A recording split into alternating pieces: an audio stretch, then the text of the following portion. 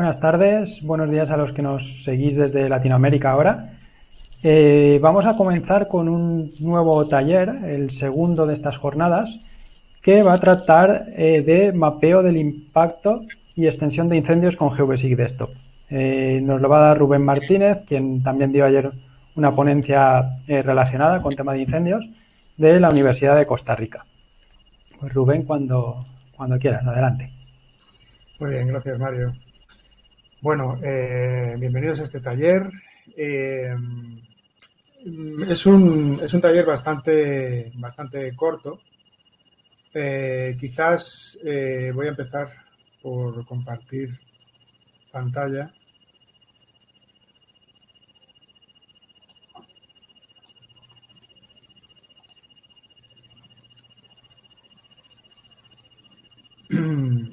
Eh, bueno, mm, me imagino que pueden ver el, que se puede ver el tutorial.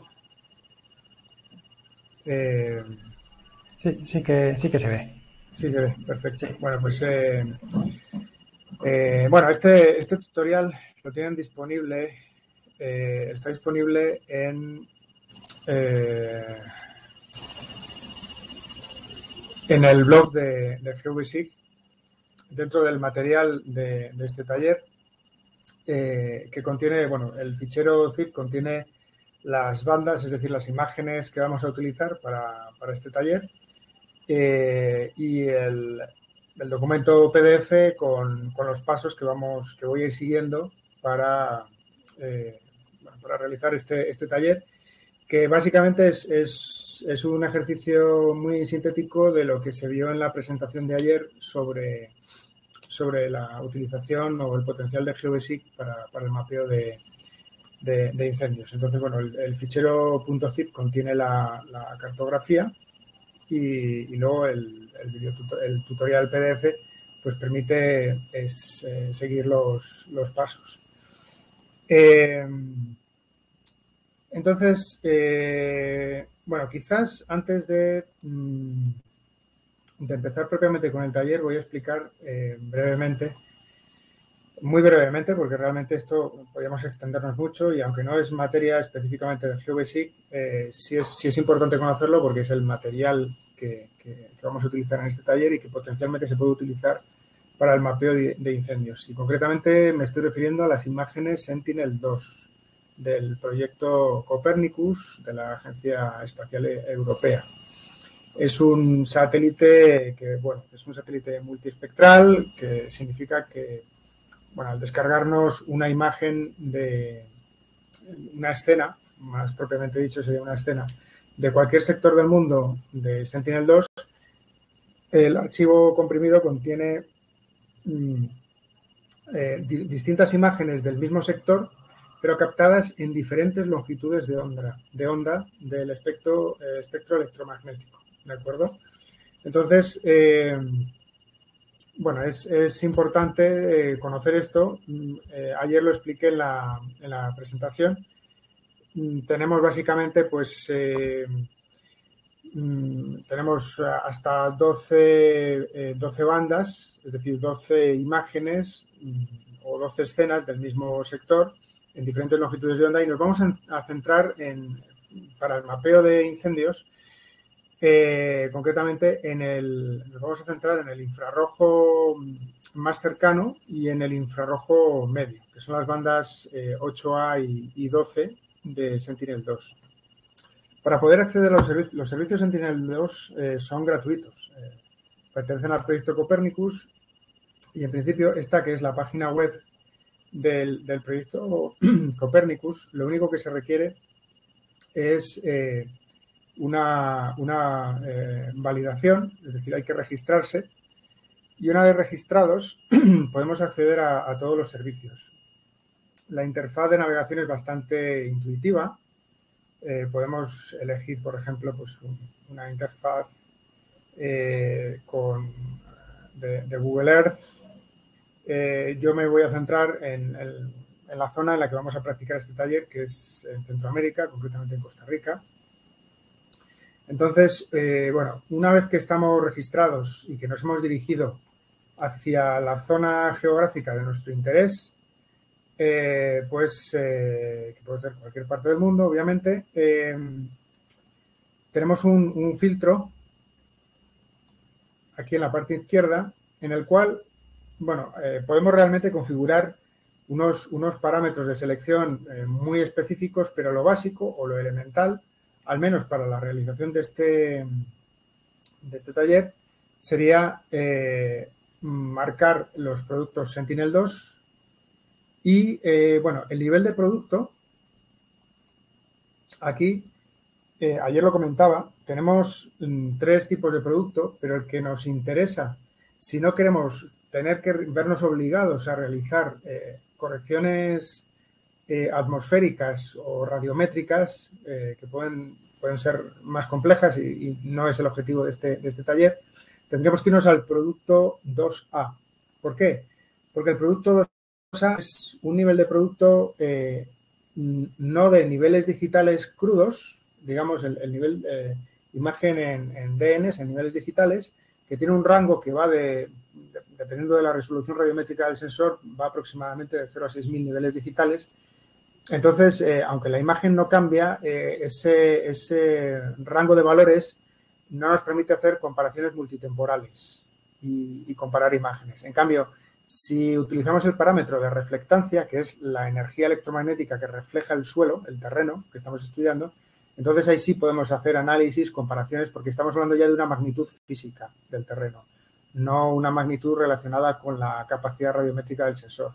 Entonces, el, el nivel 2A es el que nos interesa si queremos evitarnos, como digo, ese tipo de correcciones. ¿no?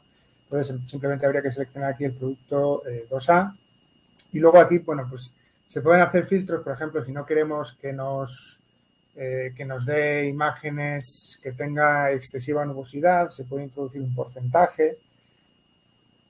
También se puede eh, filtrar en la parte superior por fechas, si solamente queremos ver imágenes que estén en unas fechas muy específicas. Pero bueno, digamos, aquí todo esto se puede, se puede explorar eh, en función de, las necesidades de, cada uno, de los intereses de cada cual. Eh, nos tira entonces una, pues una serie de resultados que se ven aquí y que, eh, bueno, pues, bueno, no, he puesto aquí, no he seleccionado un, un área geográfica, por ejemplo, voy a seleccionar el centro de Costa Rica mediante un polígono. Entonces, bueno, ahí si le doy a buscar ahora, me sigue un criterio que es productos 2A para eh, este sector de Costa Rica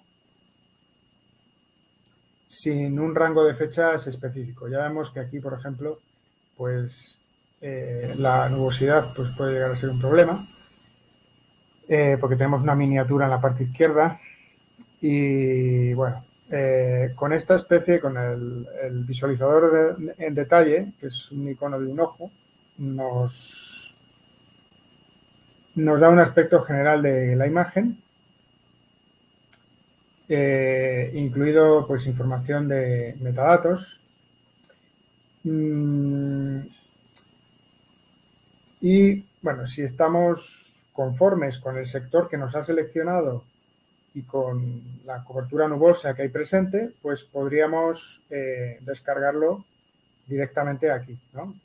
Suele pesar, vamos a ver, 842 megas. Siempre suele estar por debajo del eh, por debajo de un giga, pero eh, suelen estar estas escenas completas.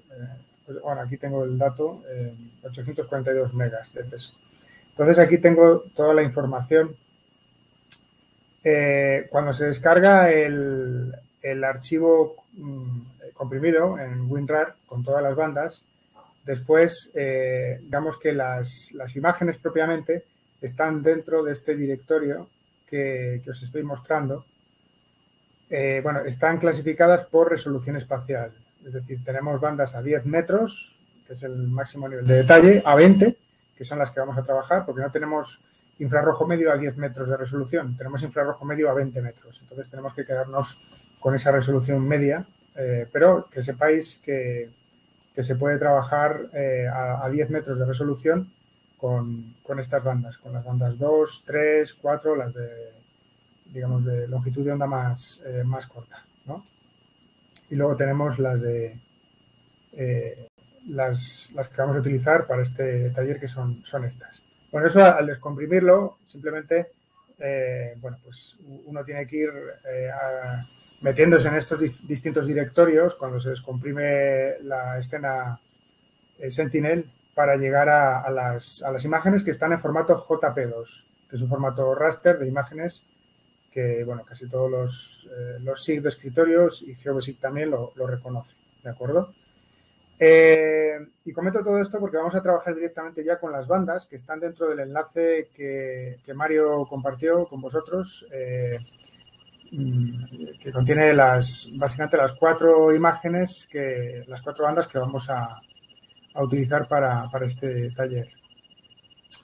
Eh, bien, entonces, bueno, eh, simplemente vamos a, vamos a abrir eh, y, bueno, aquí podemos empezar por añadir, bueno, primero configurar dentro del, del, sistema de referencia, que yo ya lo tengo configurado, el, correcto, el sistema de referencia de las bandas. Para ello nos vamos a eh, vista en propiedades. Eh, aquí en proyección actual, por defecto, se suele tener, eh, bueno, depende de cómo tenga cada cual configurado GeoBasic, pero suele aparecer por defecto las coordenadas geográficas con código 4326, con código EPSG. Entonces aquí habría que buscar el código EPSG 32 6 1 7 coordenadas UTM para el uso 17 del hemisferio norte. 32 6 17 entonces al buscarlo eh, nos aparecería eh, aquí y simplemente eh, le vamos a aceptar y a, y a aplicar y a aceptar para que quede configurado digamos, para que calcen el sistema de referencia de la vista con el sistema de referencia, es decir, las coordenadas en las que están las imágenes que vamos a añadir a, continuación. Entonces, eh, bueno, vamos a empezar por añadir, pero mm, eh, no vamos a añadir todavía las bandas, sino que vamos a añadir una capa vectorial que contiene nuestro, nuestro área de estudio. Esa capa vectorial eh, que está dentro de la cartografía eh, del, archivo WinRAR que contiene la cartografía que compartió en el blog de GeoBasic Mario, se llama, es un shape que se llama límites-reservas y simplemente pues lo añadimos y eh, bueno, se le puede dar quizás, vamos a quitarle quitarle el color de relleno y vamos a ponerle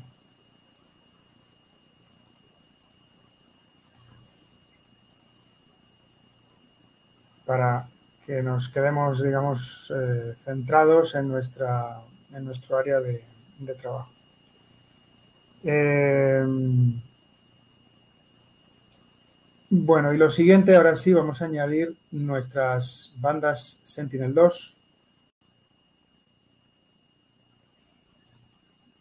Bueno, aquí yo ya tengo seleccionadas y, son las bandas que hay disponibles o, imágenes que hay disponibles dentro del, enlace de descarga de la cartografía para este taller, pero eh, esto está extraído de lo que mostré anteriormente cuando, cuando os, desplegué más o menos la estructura interna de los archivos WinRAR que contienen las, las, bandas cuando uno se las descarga de Sentinel, del servidor de, de Sentinel 2. Entonces, bueno, voy a añadir las bandas 8A y 12.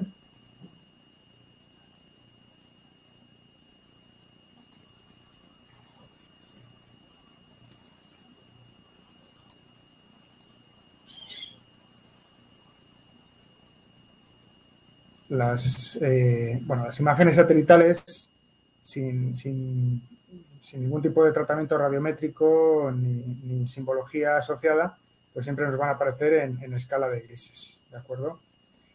eh, simplemente tener eso, tener eso presente. Eh, entonces, bueno, aquí lo importante es, voy a explicar así brevemente la nomenclatura de las bandas. La parte final nos dice que son bandas de 20 metros de resolución, es decir, que cada píxel tiene un tamaño de 20 metros, eh, que es una resolución media, digamos, desde el punto de vista cartográfico. Eh, y más importante es que, bueno, estas imágenes son, eh, están fechadas, son de, la fecha de adquisición es de 2020 y aquí lo que nos aparece dentro de esta nomenclatura es 2020, 21, 15 que es mes y día, es decir, 15 del 2 o sería 15 de febrero de 2020. Entonces, vamos simplemente a agruparlas. Las de 15 eh, de febrero las, las podemos eh, ubicar juntas y las otras son del 6 de eh, marzo de 2020. Eh, ¿Por qué estas fechas? Bueno, porque son las fechas inmediatamente previas o anteriores e inmediatamente posteriores a que ocurrieran una serie de, pues incendios forestales eh, dispersos, distribuidos en una zona muy extensa de esta vertiente pacífica de Costa Rica eh, en, concretamente, bueno, de hecho los límites de estas reservas, que no lo he comentado, que aparecen en color rojo, son, eh, son dos reservas eh, indígenas que hay en, en, esta zona montañosa de la vertiente del Pacífico de Costa Rica y es en las que nos vamos a centrar para, para, este, para este estudio.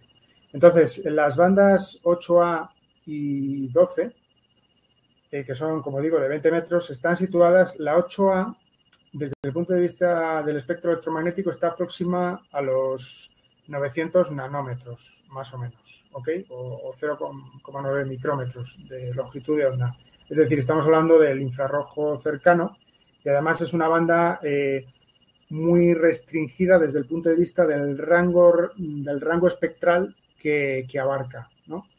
Y luego tenemos la 12, que es mucho más, mucho más amplia, pero en cuanto al, rango espectral que abarca y que está situada pues en torno a, casi 2.400 nanómetros de longitud de onda, que ya es el infrarrojo medio, que es la zona de interés desde el punto de vista de la longitud de onda, los 2.400, entre los 2.000 y 2.400 eh, nanómetros, es la zona de interés, eh, porque es el infrarrojo medio, y es eh, donde realmente nos, está dando la información de contenido en humedad de la materia vegetal.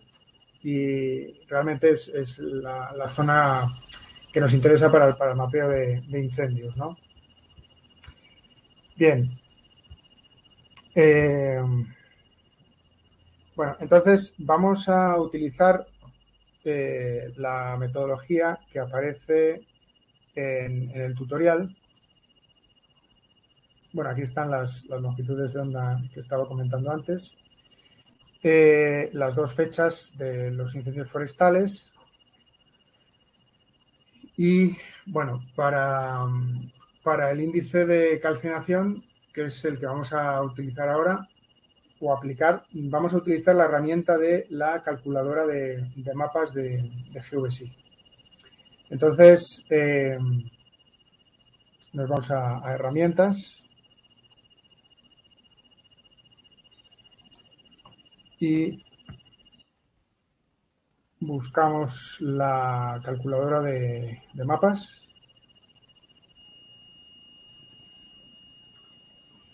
Eh, bueno, aquí tiene un historial GVSIC, guarda el historial de los algoritmos o de las expresiones que introducimos en esta calculadora de campos, pero bueno, voy a borrarlas para, hacerlas desde, desde cero.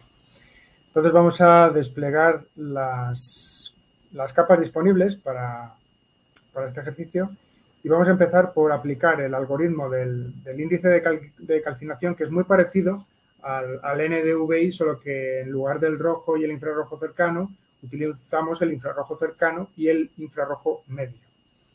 Eh, entonces, bueno, empezamos, por ejemplo, por la fecha anterior o pre-incendio, que sería la del 15 de febrero. Eh, vamos a abrir paréntesis y dentro del paréntesis eh, restamos la banda 8A de febrero que sería eh, esta. La banda 8A menos la 12 del 15 de febrero. Y esto lo dividimos, abrimos paréntesis de nuevo, entre la banda 8A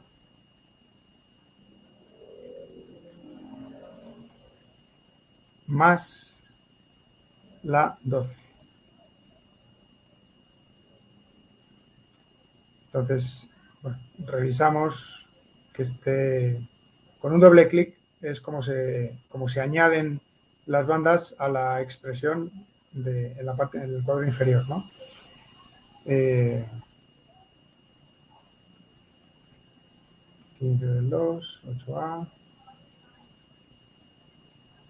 15 del 2, menos 12 dividido entre 8a más 12. Bien. Eh, bueno, en cuanto a la salida, aquí es recomendable, muy recomendable, utilizar eh, una ruta de salida muy corta para evitar que el, proceso se caiga, el procesamiento, porque es un procesamiento mm, relativamente bastante pesado desde el punto de vista de, precisamente del, procesamiento de datos raster, que siempre es pesado y aquí además estamos hablando de, decenas de miles eh, o cientos de miles incluso de píxeles eh, que entran en, juego. Entonces aquí es conveniente una ruta corta y un nombre lo más simple posible para evitar eh, que esto ocurra. Entonces, bueno, una vez hecho esto, le damos a aceptar. Bueno, yo lo he llamado exactamente igual que en el tutorial PDF, NBR eh, con, las, la, con la fecha, ¿no? que es el 15 del, del 2.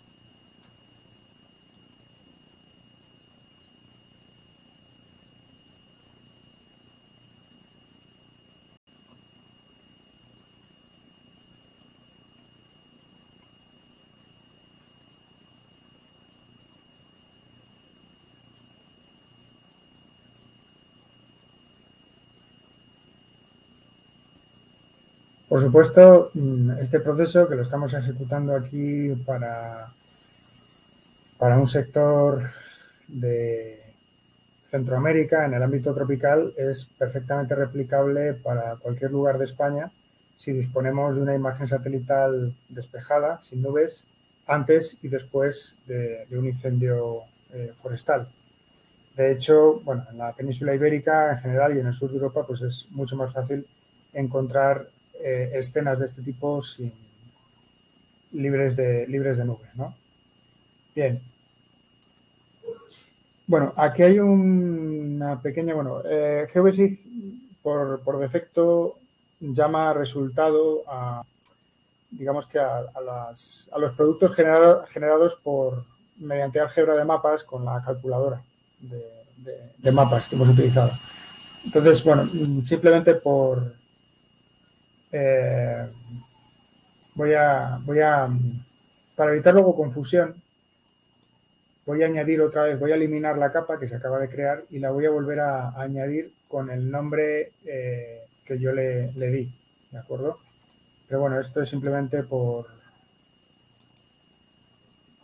sobre todo por evitar, como todo lo llama resultado, evitar luego confusiones con los distintos raster que vamos eh, generando. Entonces, bueno, aquí tengo NBR 15.2. Bueno, pues eh, voy a repetir este proceso, pero con la escena de marzo. ¿De acuerdo? Entonces, eh, para ello voy a utilizar las bandas del el 6 del 3, 6 del 3 de 2020, construyendo pues la, la misma expresión.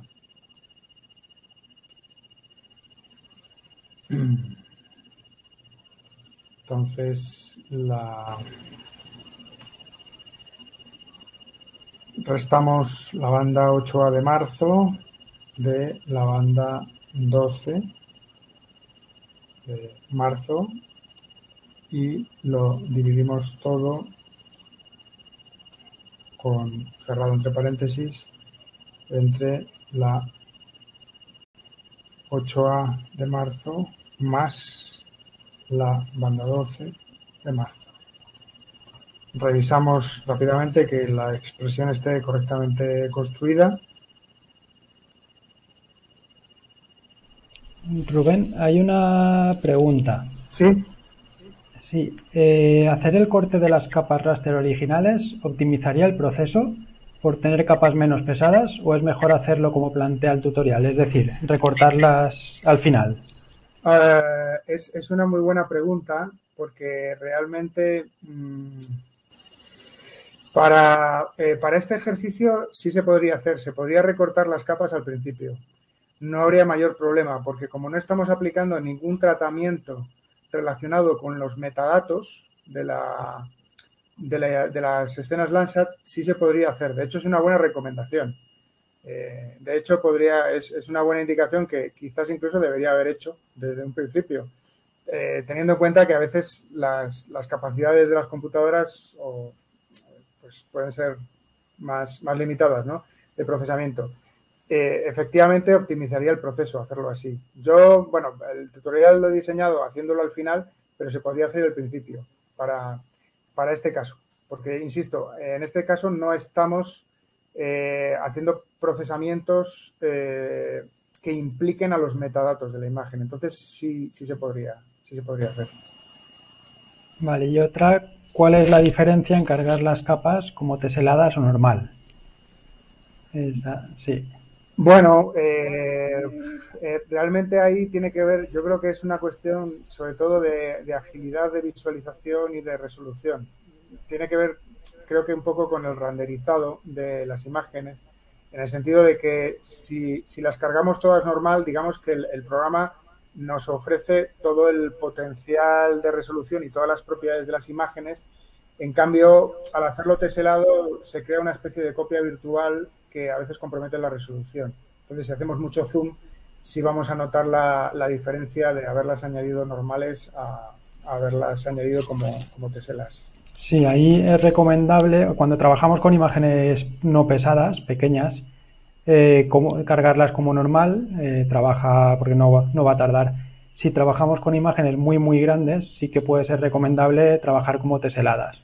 Es, por ejemplo, eh, como los servicios WMS y el WMTS, la diferencia de la T es la tesela, lo de teselado, que es una mejora precisamente del WMS que carga por cuadrados, por teselas y se nota que va más rápido, guarda en memoria.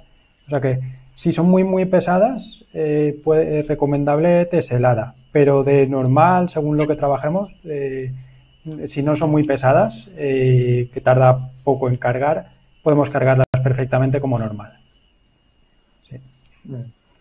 Gracias, Mario. Eh, sí, efectivamente. Eh, eh, claro, esto, esto, es, esto es relativo, quiero decir. Depende un poco de, del, poder de procesamiento, por un lado, del software y por otro lado, del hardware que tengamos. Es decir, eh, quizás estas imágenes sí son, sí son pesadas, sobre todo por la extensión, por el tamaño que tienen. Estamos hablando de cientos de kilómetros cuadrados de, un lado y del otro. Bueno, cientos de kilómetros de longitud y de extensión también. Entonces, quizás aquí se podría hacer de esa manera también, si a la hora de agilizar el, eh, el refrescamiento de las imágenes y el zoom y esas cosas. Eh, bien, entonces, eh, bueno, una vez que hemos revisado la, la, expresión que esté correctamente construida, que es siempre, siempre es para las dos fechas, banda 8A menos 12 dividido entre banda 8A más 12 para las dos fechas. Con lo cual vamos a obtener dos imágenes, el, índice de calcinación pre-incendio y el post-incendio. Entonces el post-incendio, que lo he llamado en este caso NBR, 6 eh, del 3, para reconocer que es eh, la imagen de, de marzo, le damos a aceptar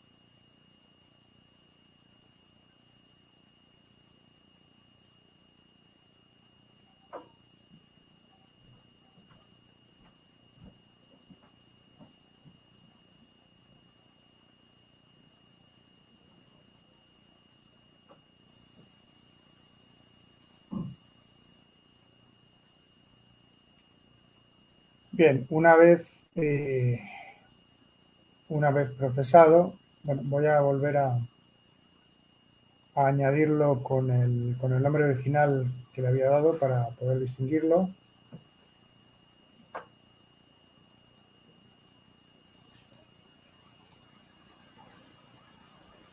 Ya tengo los índices de calcinación pre y post eh, incendio. Eh, bueno, realmente eh, aquí se podría, mm, podríamos aplicarle, si queremos, una tabla de color a cada uno de ellos, aunque nos queda otro paso, que es, la diferencia entre ambos, pero bueno, se podría hacer, por ejemplo, para el 15 del 2, eh, aplicarle una tabla de color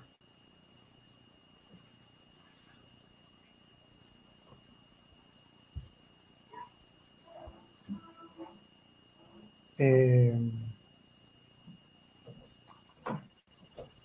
vamos a ver, por ejemplo, puede ser... Um,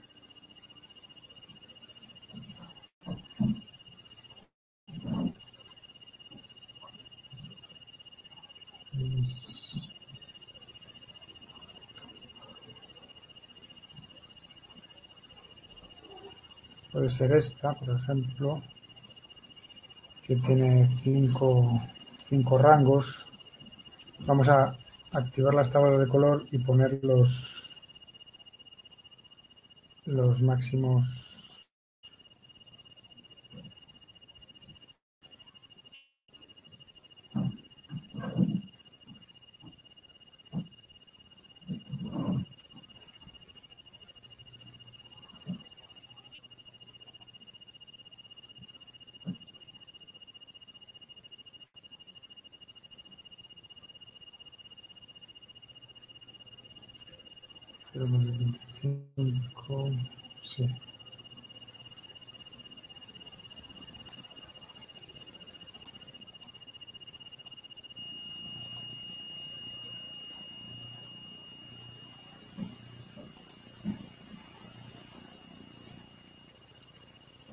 Em,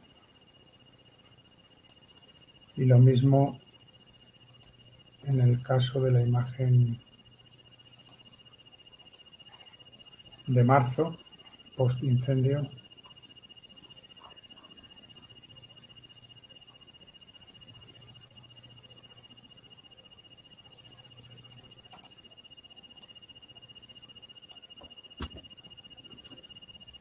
interpolado Aquí estamos las diferentes clases del rango completo. aplicamos y aceptamos. Bueno, esto simplemente es para comparar, comparar un poco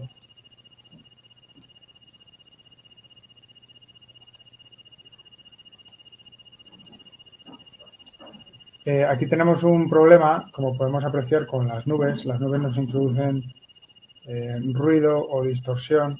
Luego vamos a ver cómo evitar eso eh, simplemente añadiendo un servicio WMS. Bueno, ya tenemos la imagen pre y post incendio. Vamos entonces a, generar el, bueno, lo que se denomina delta eh, NBR o índice de calcinación diferencial, eh,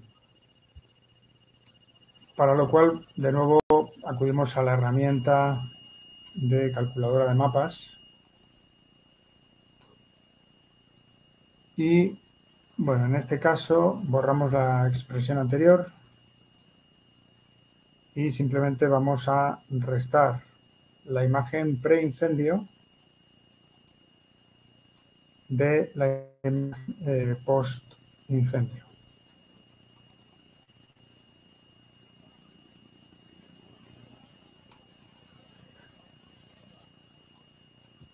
Le damos un nombre de salida, lo voy a llamar DNBR.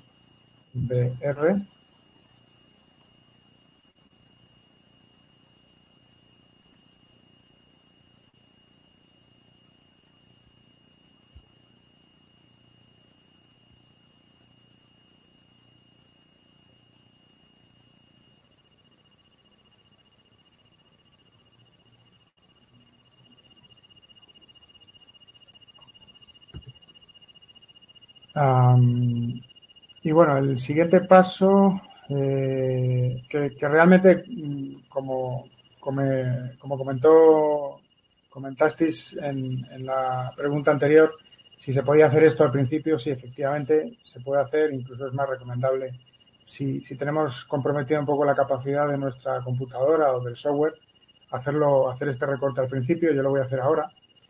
Eh, vamos a utilizar una otra herramienta de, de que es la de cortar capa raster con capa de polígonos.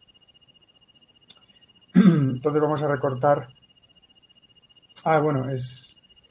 voy a cambiarlo porque el, voy a eliminarlo y añadirlo de nuevo.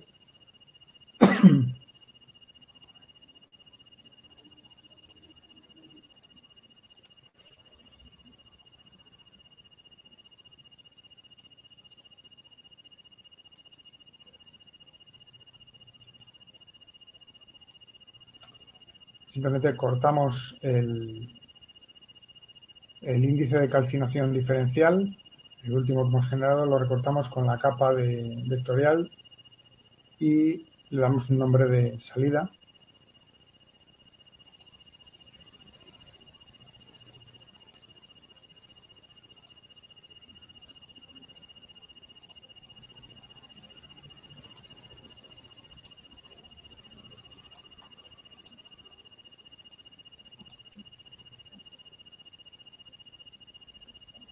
Bueno, voy a, para agilizar un poco,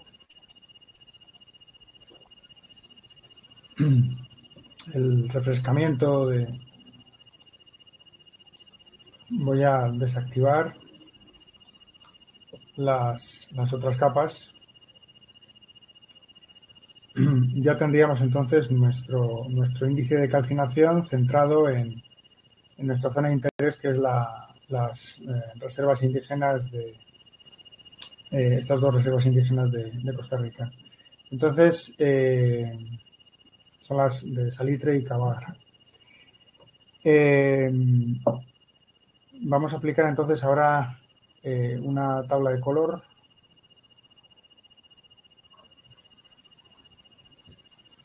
tomando un poco en referencia, aunque esto no es, no es, no es algo rígido que haya que seguir al pie de la letra, hay una una, cierta, un cierto margen de, variabilidad a la hora de clasificar.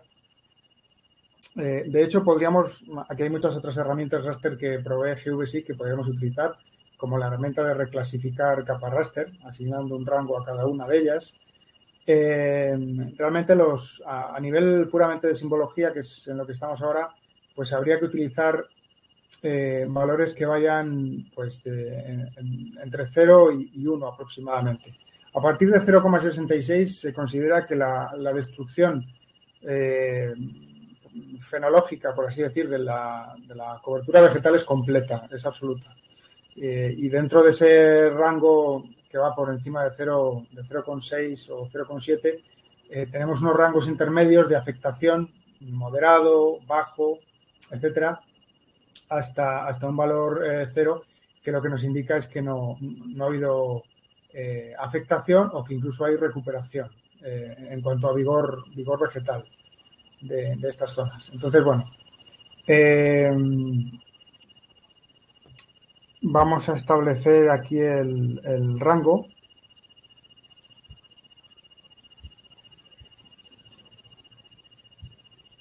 Eh, vamos a activar las tablas de color. 0, entre 0 y 1.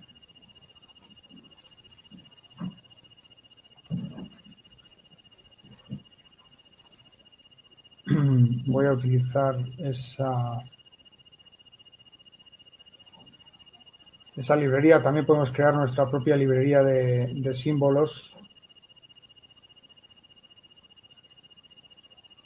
Lo importante es que esté en torno a, a 6, 7, 7 clases.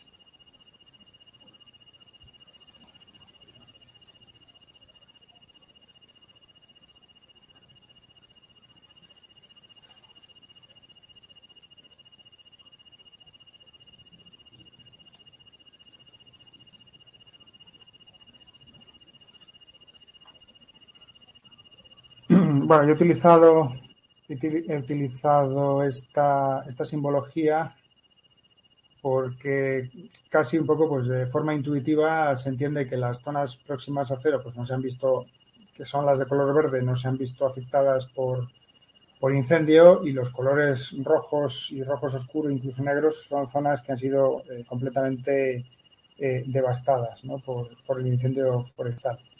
Entonces, bueno, aquí podemos ver los sectores que se han visto más, más gravemente eh, afectados.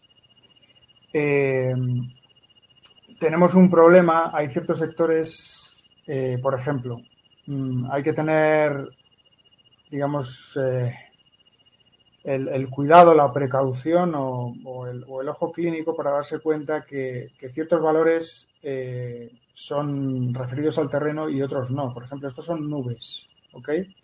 Entonces no hay que confundir nubes.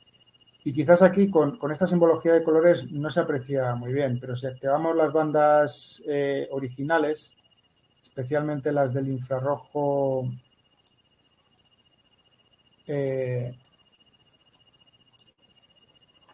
por ejemplo, aquí se ve, se ve muy bien. Es decir, estos son nubes y no solo tenemos que tener cuidado con las nubes, sino con la sombra de las nubes, porque introducen una distorsión eh, radiométrica del, valor de reflectancia que, no nos permite considerar como fiables las zonas que se ven afectadas por la, por la propia sombra de las, de las nubes.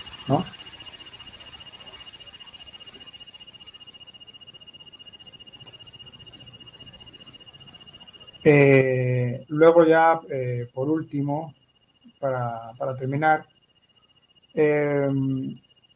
bueno, mm, obviamente esto se puede vectorizar eh, y se puede vectorizar por, rango de valores, de tal manera que podamos extraer eh, la superficie o calcular, estimar la superficie en hectáreas eh, que ha tenido el nivel de afectación severo de 0,75 en adelante o el, moderado severo, el medio, etcétera, extraer una, generar una vectorización por, rangos, ¿ok? Por último, ya, si quisiéramos eh, contrastar este, este dato con, información del terreno, hay una, una herramienta.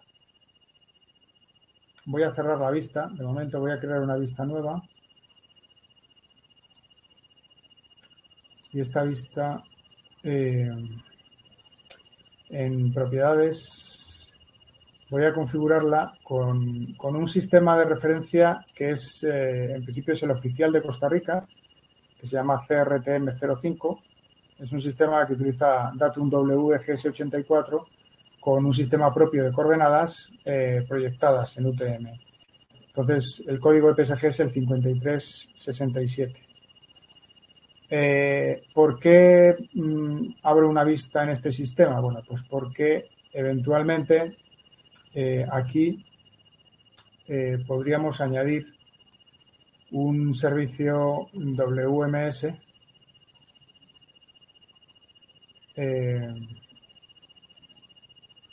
de, a ver, del sistema del Instituto Geográfico Nacional de Costa Rica, que previo registro nos permite acceder a unos servicios OGC del Open Geospatial Consortium con cartografía de ortofotos. Voy a añadir unas que sé que funcionan bastante bien en WMS. Eh,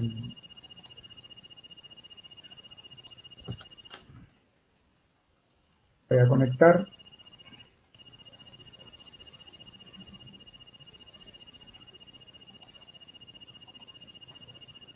Voy a añadir las, el mosaico nacional de escala 1000.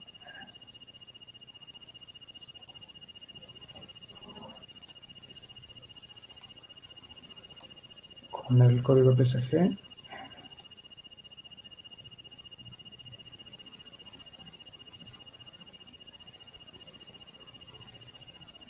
Y bueno, como tiene el mismo datum, voy a añadir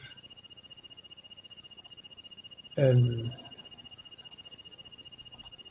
el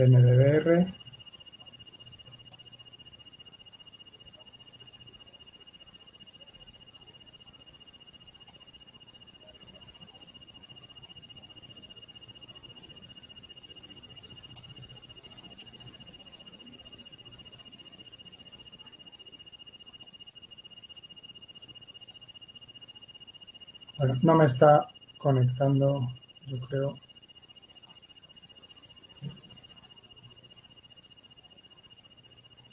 Bueno, esto era simplemente para, verificar, pero no, no, está. Anoche me funcionó sin problemas y no me está conectando ahora. Era simplemente, bueno, para eh, contrastar el, o ver un poco eh, mediante una ortofoto eh, la zona que sufrió un, un incendio mayor que es, esta de, aquí. Eh, pero bueno, ahora no, funciona.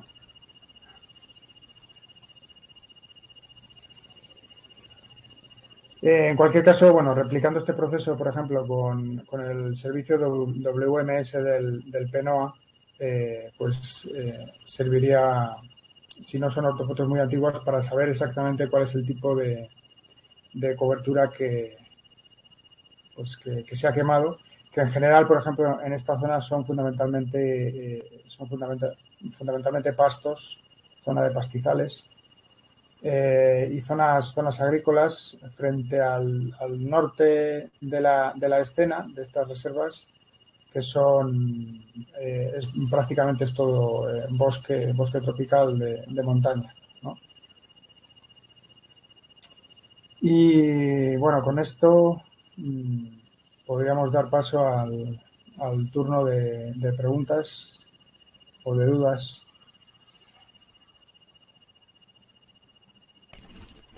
Gracias, Rubén. A ver si hay alguna duda. Eh, por el chat podéis preguntar. Y, si no, de, todas formas, después, como estará grabado en, en, el, en vídeo, en el canal de YouTube, o bien a través de las listas o bien en el propio vídeo como comentario podéis preguntar dudas y podemos remitir a Rubén o eh, cualquier duda si podéis, podéis preguntar. Eh, preguntan si los valores de NBR y DNBR eh, deben ser de 0 a 1.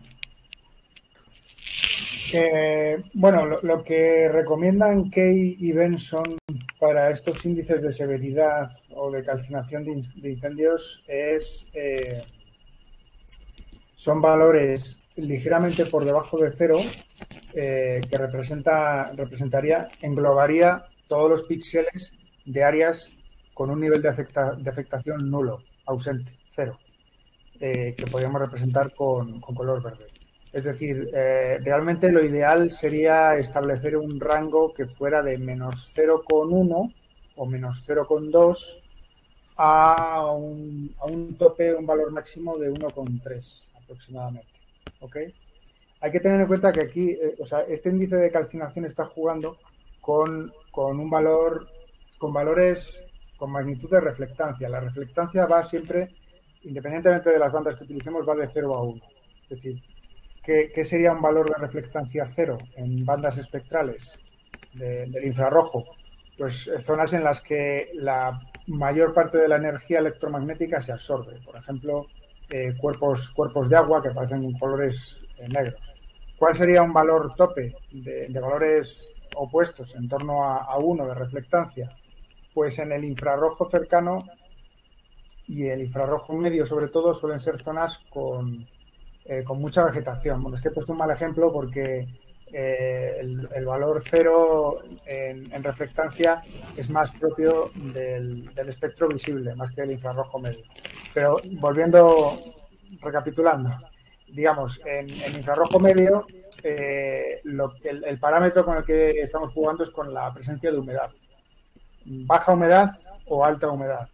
Entonces es inversamente proporcional. Es decir, valores próximos a 1 indican ausencia de humedad y valores próximos a 0 eh, presencia alta de humedad. Entonces, como esto obviamente tiene una alta correlación con, los incendios forestales, eh, normalmente se establecen esos rangos mínimos de menos 0,1, menos 0,2, que recomiendan Key y Benson, hasta 1,3 de máximo o 1. Pero esto es, eh, digamos que esto es un, es un poco empírico porque depende mucho de las características de, la, de la, zona de estudio, ¿ok? Porque no es lo mismo el nivel de humedad que tienen las selvas ecuatoriales que un bosque mediterráneo, por ejemplo. Entonces tenemos que encontrar eh, un poco empíricamente cuáles son los rangos, cómo se relacionan esos rangos con la realidad. Es decir, el trabajo de campo en teledetección es, es ineludible. Es decir, eh, tenemos que ver si el valor 1,3 se relaciona con zonas devastadas en, las que el incendio ha eliminado cualquier forma de vida o si realmente no hay una diferencia entre el 1,3 entre 1,3 y 1 en áreas de máxima gravedad.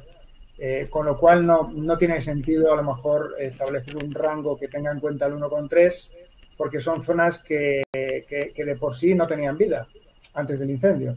Entonces, quizá no tendría sentido. Por eso digo que es, es un poco empírico el proceso. Eh, ya digo, Kay Benson, en la publicación que hicieron en 2006, recomendaban un rango pues, de menos 0,1 a 1,3, pero se puede restringir o incluso ampliar un poco ese rango de máximos y mínimos. Muy bien, a ver si hay alguna, alguna otra pregunta más. Y si no, pues como he comentado, eso, bien comentarios en el vídeo, en las listas de usuarios. Eh, pues se puede preguntar también, estará disponible el vídeo y también el tutorial, que, estará junto, junto con la cartografía, y estará toda la información, o sea que se podrá seguir perfectamente. Vale, pues parece que no hay, no hay más preguntas. Ha quedado bastante, bastante claro. Muy bien, pues muchas gracias Rubén, gracias a todos eh, los asistentes y, nos vemos mañana, último día de las jornadas, con dos ponencias que había ya originalmente y hay una nueva que hay una nueva ponencia que en el, podéis ver en el programa eh, que se ha añadido a, última hora sobre explotación de datos con GeoBasic Desktop, búsqueda asistida, dashboard y gráficas. Sí que hay una pregunta, bueno, una cuestión. Eh, eh, no saben si han hecho algo mal al final. Al clasificar la simbología, luego del clip le salen valores de 31.073. Eh, 31.000 Mm, sí, no. Mm, Yo creo que algo, digamos, ahí, ahí parece, yo diría sin saber, porque no estoy completamente seguro, de que hubo, al, hacer ese clip, se, se, cambió el formato de salida de los datos. Yo no sé si por utilizar esa herramienta o, o utilizar otra, no sé exactamente, pero vamos, no tiene sentido porque un valor de 31.073 es, se parece más a los valores radiométricos de las imágenes crudas, es decir, del nivel de producto 1C. Sentinel, eh, Sentinel 2, pero nivel de producto 1C. Que ese que, tiene el, dato, eh, digamos, eh, en principio no, no, está directamente en reflectancia. Si no recuerdo mal, porque ya no sé si, si, si estaban tirando ya en parámetro de reflectancia el dato en Sentinel 1 pero creo que, creo que no, creo que eran niveles radiométricos eh, originales. Eh, no lo sé, habría que verlo en, detalle, porque realmente si estamos introduciendo eh, raster con valores que van de 0,1 y los recortamos con un polígono, no debería de, de, repente de ampliar el rango de valores hasta, hasta esos niveles. Sí, parece más de eso, algún parámetro.